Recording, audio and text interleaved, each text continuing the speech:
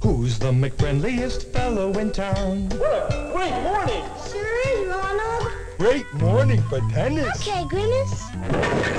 There are the tennis rackets. Here you are, Grimace. Thank you. You'll never forget how to ride a bike.